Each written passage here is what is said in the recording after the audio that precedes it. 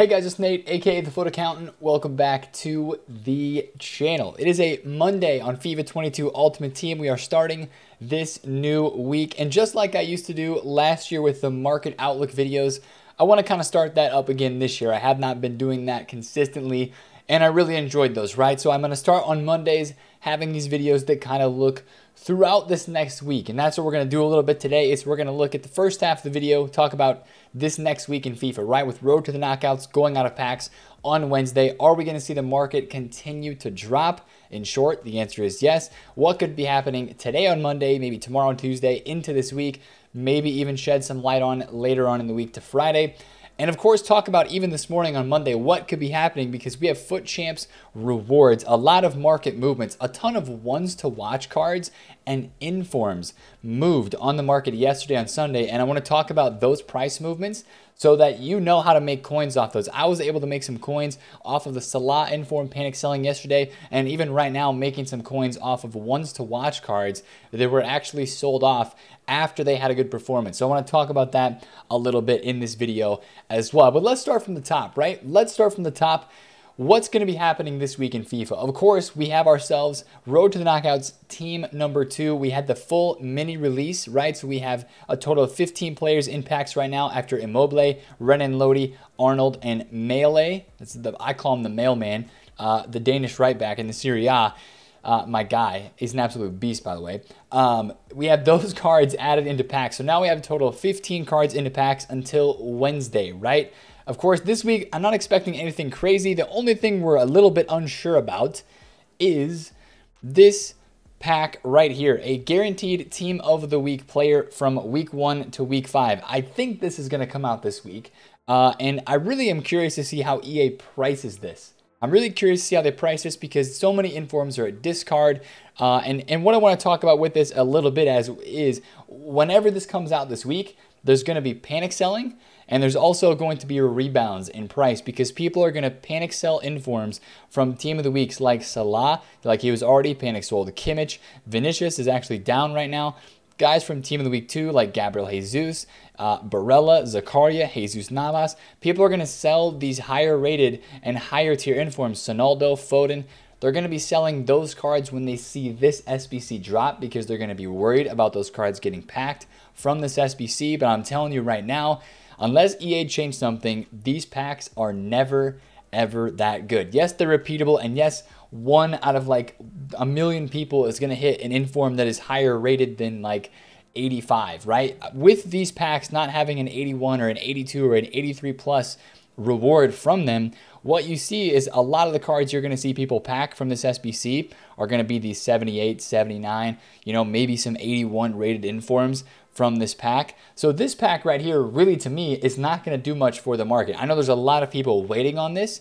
It's just going to supply untradeable informs if they make this uh. There might be a tradable version and an untradeable version. I think the squad requirement's going to be higher this year for this because right now 83s are like 900 coins and that would make this SBC like basically the same price of a discard inform to do. And if that's how it is, then people are going to be spamming this on repeat trying to hit some of those high tier cards and it's going to drain coins off the market. But for today on Monday, I wouldn't be surprised if they drop this SBC and also the 75 plus player pick that we had last Monday as a part of week one of Road to the Knockouts. Now, the reason I think we're getting the 75 plus pack today is because during Ones to Watch, we had the 78 plus upgrade pack released two weeks in a row. Both of the Mondays of the Ones to Watch promo, we had that pack released. Last Monday, we had the 75 plus player pick. A lot of you guys crafted cards like Inaki Williams, the Fofana, uh, while the, that player pick was out. And these cards,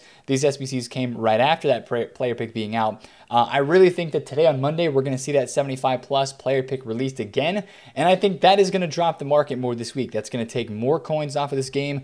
Of course, throughout the week, we're going to have more supply through a few promo packs. The, of course, the preview packs that are there, and probably a couple pack supply SBCs. Now, one thing that we don't have this week is we're not going to have UEFA marquee matchups. So I wouldn't be worried about a big drop on Tuesday like we had last week because we won't have these marquee matchups. We'll just have our normal marquee matchups uh, on Thursday. Uh, of course, with the end of this Road to the Knockouts promo coming, I don't really expect any more SBC players as well. Uh, I think that since we have gotten Politano and Bernardo Silva, if we were going to get another SBC player, I believe that it would drop uh, today. And I just think since it's the second week of the promo, if you remember from the second week of Ones to Watch, Tuesday, Wednesday, were Thursday even were pretty quiet days as they led into the road to the knockouts promo. So even though this week might be kind of quieter in terms of content, you know, maybe the team of the week SBC and the player picks spicing things up, um, I'm not expecting anything drastic, right? Because the second week content wise of these two week promos is always a little bit slower, but I still think the market's going to drop off. Again, with supply just controlling this game at the moment, your gold cards continuing to drop down from the amount of supply. I mean, this Heung-min Son card to begin the weekend was 300,000 coins. Even with the Premier League being hyped up right now with the Bernardo Silva SBC, a lot of people buying links to that card. This Sonaldo is still 220,000 coins. He dropped off like 80K in a week. Now, I don't think you're going to see as drastic of drops, uh, throughout the week this week. But I do think that if you're somebody who's looking to buy a team again, if you're selling your team this morning on Monday, which in my opinion wouldn't be that bad of a shout, especially if you have gold cards in your team, I think most gold cards are going to continue to drop this week. Now, there's a couple of special ones in there. Of course, uh, with like this Llorente card, of course, with the Renan Lodi that has been added to the game when he becomes unextinct if you will. I think there's potential for some of these cards to rise up, just like last week, right? We saw like the Kimpembe uh, continue to go up in price a little bit last week, just with an insane amount of demand. So there's going to be a few cards this week that might maintain their price or go up a little bit. But again, I think that if you look at the prices of cards now and you look at the prices of where they're going to be on Friday, I think that this Monday morning time is again going to be an opportunity where you might be able to cash some of those things out with a nice little bit of a market rise after rewards which I'm going to talk about what that's going to do to the market here in a bit. And then probably with this, if the 75 plus player pick comes out, that's 100% going to be taking more coins off of this game as people are going to do upgrade packs to try to hit guys like De Jong, to, to hit Werner, Fred, right? With those cards in packs right now, uh, and with the addition of Renan Lodi, Immobile, those all those guys that are in packs right now, people are going to be hitting player picks this week uh, to try to get those cards. So that's kind of what I'm thinking for this week in terms of road to the knockouts. I 100% think that we're going to get a promo on Friday. 100% think that it's going to be either Ultimate Scream or Rule Breakers. I guess technically there are, I guess, rumors about that whole 99 rated promo that EA talked about. We're gonna have a video on that soon. Um, talk when that gets closer. I don't think that's yet though. EA actually previewed a promotion, and we'll talk about that uh, here pretty soon.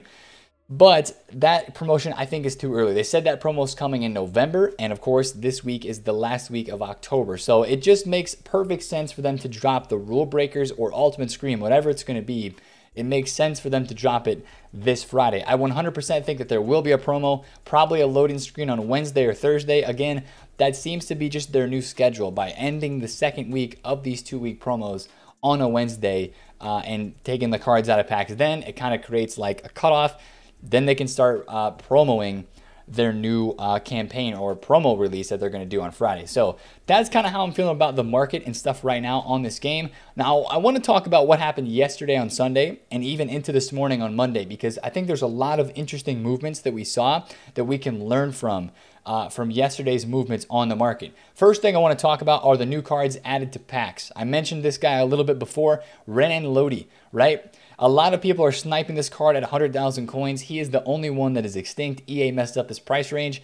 Uh, this card to me at 100,000 coins, I think he's worth more than 100k on this market. You look at Ferland Mendy, who's about 80 to 90,000 coins at the moment. The thing that this Renan Lodi card has that Ferland Mendy does not is A, he is a promo card with a lot less supply and a lot more hype with a dynamic image and Brazilian links. I think that right now, with so many people using Marquinhos, people want to use Fred. The Brazilian links in this game right now are very, very demanded. And I think that even with like a Llorente, right, or with so, some of those La Liga left side links with the Vinicius Jr. inform, who's actually down tonight, I'm, I'm tempted to look into this card uh, at the moment because, yes, a lot of people are running Prem teams because of Bernardo Silva or they're running some of those Premier League links but also some of these uh, Brazilian cards and some of these, like this Vinicius was down at uh, 327, which was really low.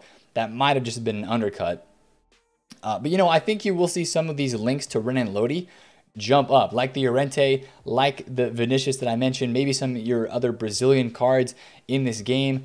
I feel like these cards will jump up. I think their prices will rise, but the Renan Lodi card has to be updated with its price range before any of that moves, right? Because right now, this card is basically unattainable on this game because the price range has not been updated. And I hate waiting on price range updates, but if you're somebody who wants to snipe Renan Lodi and sell him right when the price range does update, I would imagine that they would probably increase his price max to like 250k or at least 200,000 coins when they update this price uh, on Lodi, who's extinct at 100k. I think this card should be more like 150, 100, and maybe 150k. That's kind of like my sweet spot where I feel like this card should be. As it is a live item, you kind of think of where in packs where the Robertson card was. Uh, Andrew Robertson, of course, the live item, Robbo, uh, who has now exploded out of packs, um, literally up almost 100,000 coins from his mini release date uh, of last Sunday. So I guess a lot of eyes are on that Renan Lodi as well for when he does become unextinct. But as of right now, what's probably going to happen with that card is the price is going to get updated. He's going to get listed down, depending on how long it takes for them to update this Renan Lodi price. Uh, it's going to be interesting because this is going to be a card that will be great to trade with with the links that he has. So if you're somebody that's been sniping this guy to 100K, make sure you're on it when the price range updates so you can sell like right away, whenever that may be. Um, I guess it's hard to kind of figure out when that price range is. Maybe you set like a, a Futbin price update if you've got Futbin uh, Premium and uh, it'll alert you when that price is updated. But even then, you probably just want to have notifications turned on uh, for some Twitter accounts, right? I, I, try to tweet out tweet out when this stuff gets price range updates as well, so that you guys know if you're holding them that you can uh, list them up and get them out. Because then everybody starts undercutting. But I think this card becoming unextinct is going to make the market move this week because he has really good links. I don't even know how good he is in game, but he has really, really, really good links. And that means a lot for this market. Now, of course, I want to talk about ones to watches and informs as well because we had a couple big ones to watch performances over the weekend and a lot of movements on these cards. Upamecano is the first one I'm going to speak about. This guy was like 100,000 coins, two assists, and a clean sheet over the weekend for Bayern Munich uh, in their game. And this guy is heavily contended, heavily in contention for team of the week this week. So this is this is what I want to show you with this is I want to show you these price fluctuations and how you can trade with these cards because I've actually flipped now two of these um, ones to watch items based off of these movements after he skied in price. So 102,000 coins, he goes all the way up to 155. It shows as his max here on uh, on Futbin on the PlayStation price and then even to 136 on the Xbox. But on PlayStation, he went all the way up to 155, which right away after he scored, he was actually higher than that. He was in the 160s, 170, went back down to the 140. Because again, we've talked about this before, but what happens is everybody sells their card that they have of Upamecano, right? Or people bought the card up to 160, then they sell. And then that kind of creates another dip. So you have an initial rise, a spike, right? Where you have an opportunity to sell at the peak. You have a bit of a dip and then a card that card reaches a dip again after people who are trying to make coins on that investment sell it off and take their coins. Then you see the card start to rise again with team of the week predictions coming out early in the week, and you see that card rise up into like Tuesday night, Wednesday morning. When, of course, people are buying it back up for the potential team of the week upgrade. That happened with Upamecano and both David Alaba. Alaba's back up to 60K at the moment. So Alaba was 20K this morning. When he scored, he went all the way up to 64,000 coins on the PlayStation, went back down to 50K. I actually snagged myself one at 50,000 coins, and he is now up to almost 60,000 coins, right? So that's how you can make that, that double dip, if you will. Buy it once to watch pregame, sell it in the hype after something good happens, a goal is scored or whatever, and then buy it a couple hours later as that market kind of trends back down and then it starts to rebound back up. It works best again with meta cards, cards that have legit team of the week performances, but that is one way you can make coins almost every single weekend. It happened last weekend with Depay. And there's usually one OTW card per weekend, or even in the middle of the week with when there's Champions League games. And I even think that during the middle of this coming week, there are some midweek games in some uh, some leagues. So keep an eye out for that. And also uh, the movement that we saw yesterday with the Inform Salah.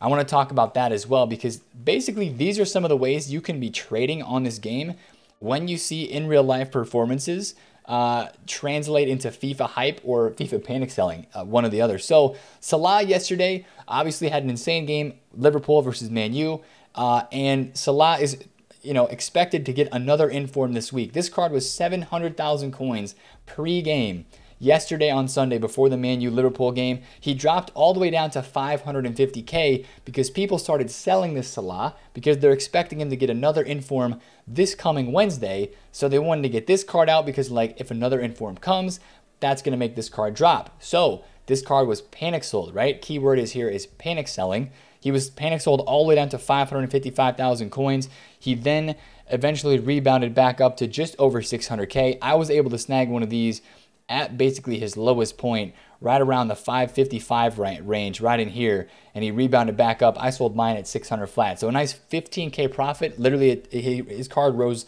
from 555 to about 600k in about 20 to 30 minutes. It was a very very easy um, fluctuation that you could have traded with there. That is going to continue to happen as we further ourselves into the game as more special cards are released. You know, pe people that have an inform uh, they're going to have another good game. Their inform first inform is going to drop off. Again, the key here was that it, this card is one of the best, if not the best, right wing in the Prem. He's performing very well IRL. He, this card is just he's got all three things we talk about, right? Popularity, he's meta, and he's rare because he's a high rated inform. So that was a great card if you have a higher budget uh, to trade with on a fluctuation. And those are just some of the things I wanted to point out regarding the market yesterday on Sunday. Uh, now, as we head into this morning, Monday morning, with the rewards that are being released, we, you know, the past couple Mondays, two Mondays ago, we saw a nice rise on the majority of the market. Golds, um, out of pack specials, a nice icons, a nice majority of the market went up a couple Mondays ago. Last Monday, the market rise was a bit, I guess it was in certain specific areas. I think today, after squad or after weekend league rewards are released, this morning, Monday morning, right? Everybody who didn't claim their rewards over the weekend, I think you will see a rise on some players. Uh, I'm specifically watching these RTTK2 promo cards because last week, if you remember, this Isak um, from Monday rewards, he was 120k pre-rewards on Monday, rose up to 100 and basically 150k. It was a really really nice rise on that Isak last week, and also I think I think Robbo uh, rose up a little bit last. Um, you know, late Sunday night, early Monday morning UK time. Rewards happen. People get coins. They go out and they um, buy some of these cards to try them and to use them because that division rivals grind is there, right? People are playing rivals. They're playing FUT Champs qualification. There is gameplay demand. So I would watch some of these cards today, although they are in packs. If you're up around the rewards time, see what these cards are doing. Or, or you know, some of these cards have dropped off a decent amount today. Uh, De Jong is down like 50k from from where he was at the start of the day on Sunday. Fred is down a decent amount. Pick out some of the cards that you think might rise a little bit because people are going to try them, like Amavi, El Shaarawy linking uh, you know Tonali together, and Immobile, the brand new card. And of course, even this brand new Immobile card, these guys are pretty rare. If I see Immobile down at like 120s tonight, I'm probably going to pick one up to try to flip because I do think you might see some of these RTTK Team 2 cards rising up a bit this morning on Monday.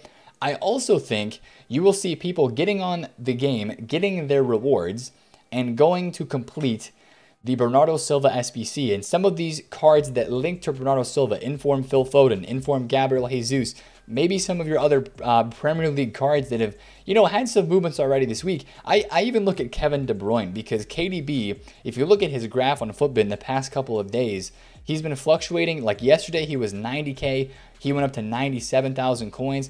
I think there are some people that are playing KDB with that Bruno Fernandes card in their midfield. So if I were to see Kevin De Bruyne tonight uh, around 90K, or maybe if, if, you can pick one up around rewards under 90,000 coins, I think that especially in the 80s on PlayStation, if you see this guy drop a couple K, he's a really rare card and he's, he's Manchester City links. That would be an, an item that I would keep my eyes on.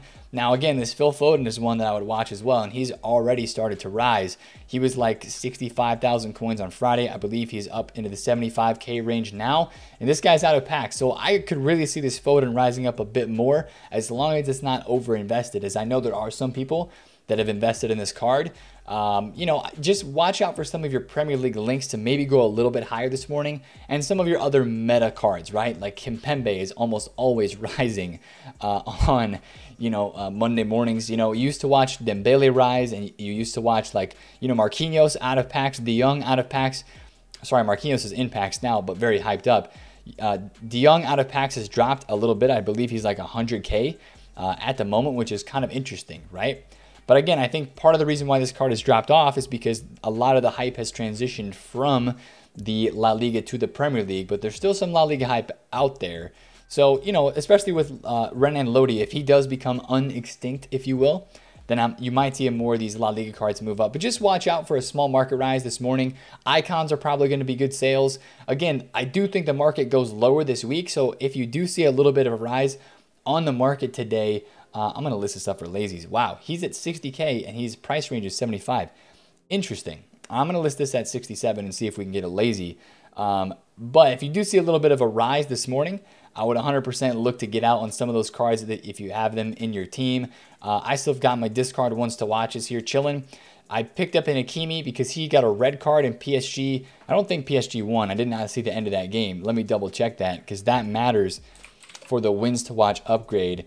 PSG, oh yeah, they drew nil nil. So this uh, Hakimi, when he got a red card uh, after the game, this is the best right back in the game still. So that's why I went up. I, I, I picked up an Hakimi at 349,000 coins, and he is right now back up to like 365. So if I get this to 370, uh, I will take my little bit of profit on this and call that good and then probably look for maybe some low prices tonight around the rewards time frame uh, the weekend league rewards time frame, see if I can pick up any deals there uh, once I get some of these icon sales out.